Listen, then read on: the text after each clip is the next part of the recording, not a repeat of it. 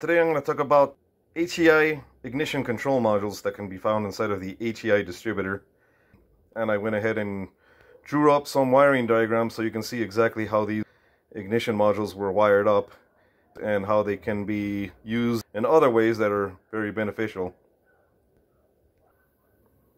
And super quick, talking about how they work. Uh, basically, the purpose of the ignition control module is to convert the tiny little pulse that's created inside of this pickup coil as these triangular reluctors get close to each other, they'll produce a magnetic pulse. And then that tiny little AC pulse is transferred through these two wires to the ignition control module.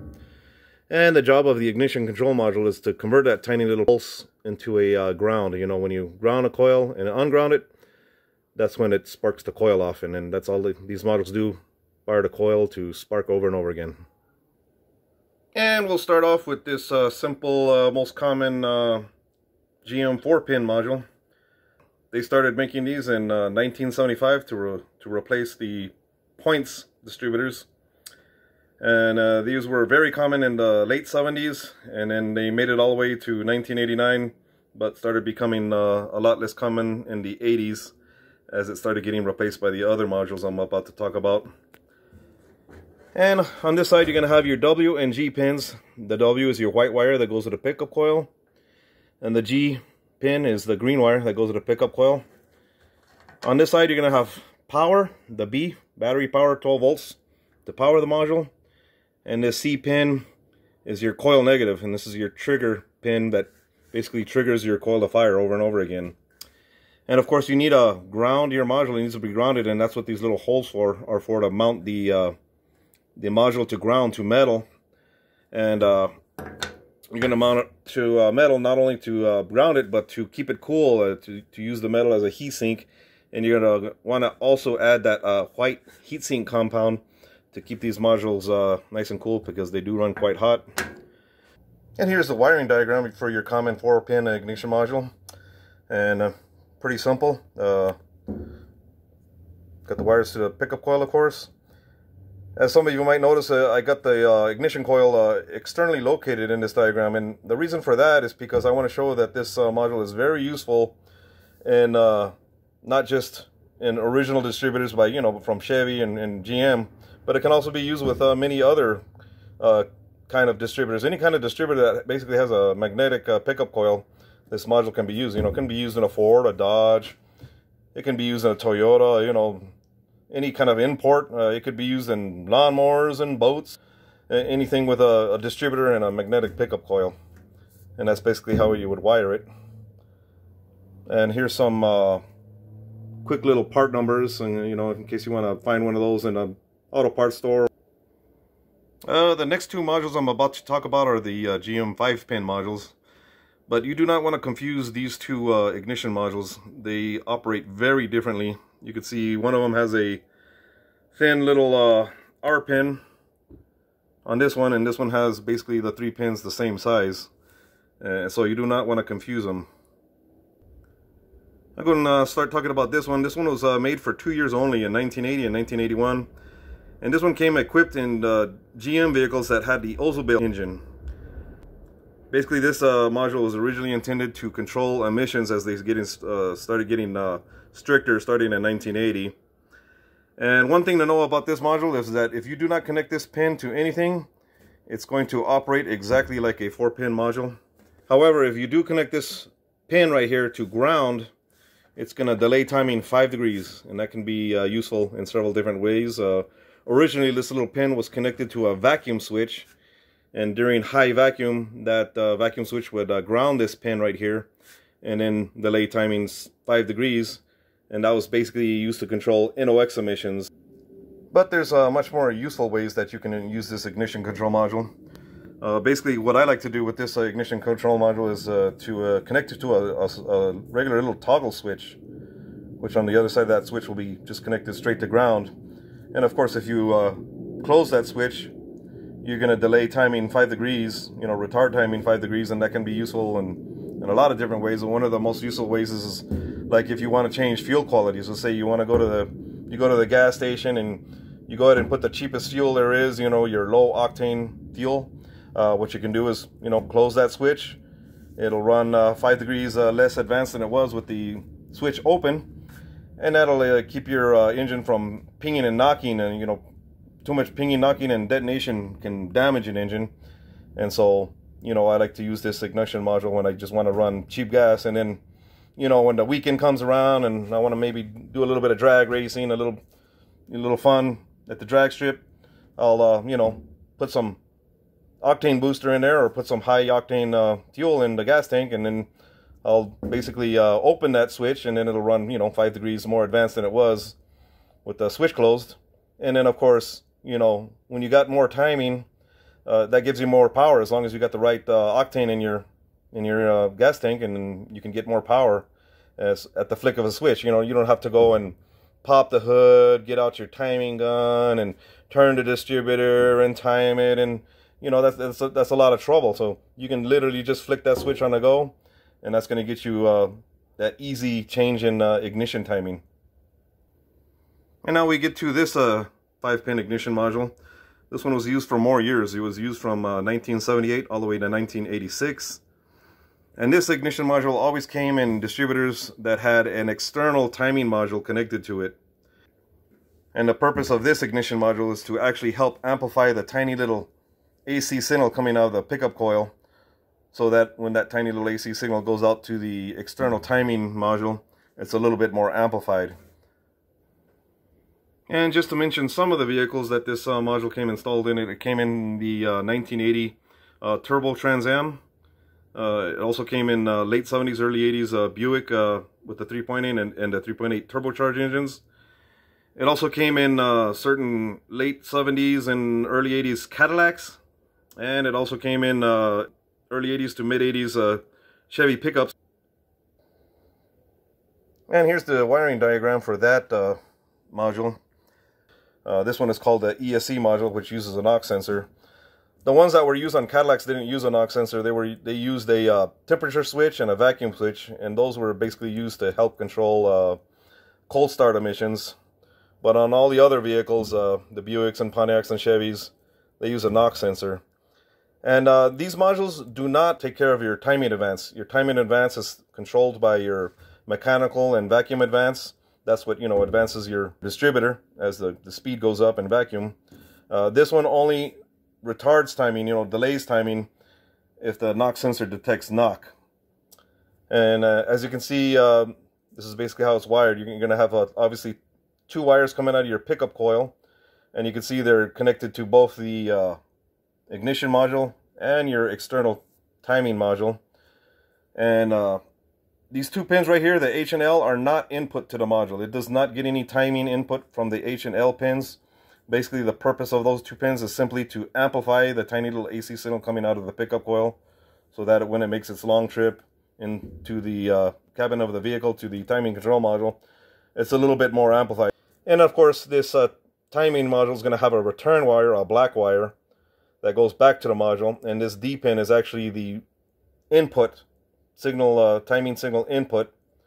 And then, of course, from there, this you know module is going to amplify that signal and send it out to your coil negative fire coil off. So like this one, like I said, it has a knock sensor, and uh, this module does not change timing at all until this module picks up, uh, you know, pinging, knocking in the engine. And of course, pinging, knocking, and detonation can damage an engine. And so as soon as this uh, little knock sensor detects too much uh, pinging and knocking in your engine, it's basically going to retard that timing signal, send it back to your module and, and, delay timing. And then if the pinging and knocking gets worse, it'll delay, delay timing even more until the pinging and knocking stops. And then basically this module will then return timing to normal and leave timing alone like it was when it came out of the uh, pickup coil. And I like to uh, actually use this uh, module for my uh, performance engines, you know, like when they're boosted. And you might ask why, you know, why would this be good for a performance engine? Well, the good thing about having a knock sensor is that you can actually advance your distributor all the way to the very edge of pre-ignition, you know, very advanced. And, uh, you know, having your distributor set more advanced gives your engine more power. You know, more timing gives your engine more power. And the advantage of having a knock sensor is that is if there is a little bit of pinging and knocking as you're flooring it, this module will back off timing just enough to keep you from damaging your engine. You know, especially useful, you know, for people that don't know better than to put high octane fuel, you know, in a in a high performance engine. You know, that's why they were used on that Turbo Trans Am and the Buick 3.8 turbocharged engines. You know, they wanted to make sure the customers didn't damage their brand new vehicles with the turbocharged engine, so they put a knock sensor. This particular ESC module is actually from a, 1983 to 1986 uh, Chevy pickup, and uh, I prefer to use the, uh, these modules because they work really good. I've used them several times on several different engines, and I've used them on many different kind of engines, not just Chevy engines, but I've used them on, on uh, you know, a big different variety of engines, and they, they work really good. And I've noticed that these two part numbers, the 1602 9011 or the 1604 2121, work very good. One important thing to know if you're going to choose a knock sensor to use uh, with your ESC module, make sure you use a knock sensor that is 100k ohms in resistance. And you can find these knock sensors in different threads, you know. Like I used to, I like to use this one pretty often because it has a thinner thread, which makes it easier to fit it onto a non-Chevy engine, you know. And just thread it into a block somewhere. And just as a quick note, the 1982 and earlier engines use this kind of knock sensor. And by the way, this knock sensor is not uh, 100k ohms in resistance. It's a, it's a different resistance rating. And so if you get this kind of knock sensor, you're going to have to use the 82 and lower ESC modules. Uh, and it's very hard to find this kind of knock sensor uh, brand new. So me, I just recommend getting the 83 to 86 uh, ESC modules. And those piezoelectric uh, knock sensors work very well. And here's a really quick view of the ESC control module that I'm talking about. And this is the connector that goes there. And uh, it's pretty small, it's not very big. Uh, the brown wire here is ground for the, the module. The black wire is your return wire with the adjusted timing if there's being a knock that goes back to your 5-pin ignition module. The white and green wire just needs to be connected to both the pickup coil and the 5-pin ignition module. This pink wire is just power, 12 volts to power the module. And this blue wire goes to your knock sensor. And of course, that's not to say that those uh, ESC modules never go bad. You know, they're they're going on 40 plus years, and they, they do go bad sometimes. And I've noticed what some people like to do is they like to do a bypass, you know, when they can't find a module or they simply don't want to use it or they don't know how it works. They just want to eliminate it and just run the distributor completely internally without any kind of external timing module. Uh, that's a pretty easy thing to do. What you can do is obviously take off the uh, timing control module completely. And outside of your distributor, you're going to have a connector with four wires coming out of it. And basically all you need to do is connect the green wire and the black wire, short them together. And basically what's going to happen, you know, pickup coil is going to send a signal through the green and white wire. And uh, the white wire is already connected to the module the green wire, you're just going to go ahead and loop it to your black, and then it'll go to the input pin, this D pin. And then this module is going to run exactly like a 4-pin module, and that's so that's a pretty easy way to bypass the ESC module in case you don't want to use one. And there are some uh, part numbers for the 5-pin module in case you want to find one of those at your auto parts store or online. And now I'm going to start talking about the 7-pin module, which they started using in 1980 uh, all the way to 1995 being the last year. And this was, was the most common module used in the 1980s. Uh, just most vehicles came with this uh, ignition module. And this ignition module came in distributors that were computer controlled. And those distributors never had any kind of mechanical or vacuum advance. And the computer would control advance. Basically, these three pins right here went to your computer. These two pins right here went to your pickup coil. And uh, if you do not con connect your computer to this ignition module, this module is actually going to run exactly like a 4-pin module. However, of course, that distributor, like I said, does not have any mechanical or vacuum advance, so it'll run, but it won't run very efficiently because there's no mechanical and vacuum advance, and it'll just be very inefficient. And of course, that's if it has a carburetor. If your vehicle is fuel injected and your computer's not getting any reading from the module, it's not going to run at all because those injectors need to be pulsed by the computer and the computer needs a timing input in order to do that so and here's the wiring diagram for your 7 pin ignition module so basically like I said the way it's wired you know if there's nothing connected here this uh, module is going to run off the pickup coil only and fire coil off without any advance. However, if your computer is working, it's going to send 5 volts through this brown wire to this B pin right here. And if when this module detects 5 volts at this B pin from the computer, it's going to expect a timing signal from the computer. And that's going to be from your E pin. This is timing out from the computer to the module. And then it's going to run timing off the computer and not the pickup coil. However, of course, the uh, computer still needs an input from the module to get its timing, and that's what the R pin is for on this module. That's reference timing that goes to the uh, the ECM. So basically what this module does, it'll grab the tiny little AC sine wave from the pickup coil, and it'll change that little AC sine wave into a tiny little square wave and send it out to the computer.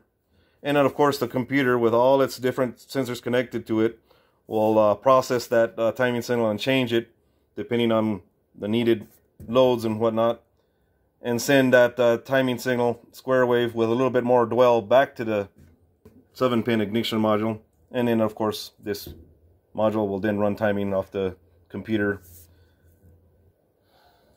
you might notice I got a connector here and uh, pretty much all these vehicles that come with a 7 pin module will have a connector further you know usually pretty far away from the distributor, most of the time on the firewall somewhere. And the purpose for that is like like I said, when you disconnect 5 volts from this uh, ignition module, it's going to run timing from the pickup coil only. And that's what you need when you need to when you need to get your timing gun out and you know time your distributor. Because with the computer connected, as you're pointing your timing gun to the timing tab, your your your timing is going to be bouncing around. And you're not going to be able to set timing. So of course, when you disconnect the computer, it's going to be have a very fixed, stable timing running off the pickup coil only. And then that's where you can fine tune, fine time your uh, distributor. And then when you're done, uh, uh, you know, timing your distributor, you reconnect your connector and it's going to run timing off the computer again. And there's some part numbers for the 7-pin module in case you want to find that one uh, online or at your auto parts store. And then we get to this, uh, last but not least, this little three-pin ignition module, which was used for one year only. It was used in the 1978 Oldsmobile Toronado. And this uh, ignition module came in uh, vehicles that were equipped with an ECM also. And that distributor also did not come with a vacuum or mechanical advance. And this module would rely solely on the computer to give input to this little pin. And then, of course, fire your coil off. But unlike the uh, 7-pin module, this one doesn't have a uh, bypass or backup plan. Uh, so if your computer goes out or if it's disconnected somehow, you're basically dead in water. You're not going anywhere. And there's the wiring diagram for that one. Of course, you still had a pickup coil, but that pickup coil was connected to your ECM directly. And then, of course, that ECM, which only had two sensors really, a vacuum switch and a, a coolant temperature switch, with the input from those two sensors, it would basically uh, control advance and then send your timing signal out to this module to fire your coil off. Uh, let's say you happen to have a uh, 1978 Oldsmobile Toronado, and let's say you broke down in the middle of nowhere. You you suspect your computer burned out, or and you want you need to get home. Well, there's actually if you do a little bit of wiring, you can actually uh, connect this pickup coil to this three pin module. What you're going to want to do is disconnect your computer completely and then you're going to want to route this green wire to this little pin right here and then a white wire coming out of your pickup coil you're going to need to ground it somewhere and basically you can white ground that white wire maybe on your distributor housing somewhere and then once again route this green wire to this little pin on this pickup coil and then this module right here is going to run exactly like a four pin module and that'll get you home and, but like I said, it doesn't come with vacuum and mechanical advance. Of course, that's not to say that you can't use this module inside of a distributor that ha does have mechanical and vacuum advance. And it'll uh, operate perfectly reliably when connected that way, in case, you know, you ever want to use one like that. And so guys, I just want to thank you for watching my video. Uh, please feel free to leave me a question or comment. And uh, I'll see you guys next time. Thanks.